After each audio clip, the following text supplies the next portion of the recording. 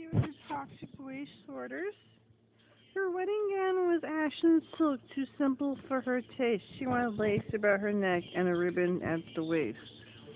Dolly Payne married John Charles. She could not wear a white and ding dress or veil of lace or tulle. She's a Quaker, had to dress in appropriate drab style. Past they still exist.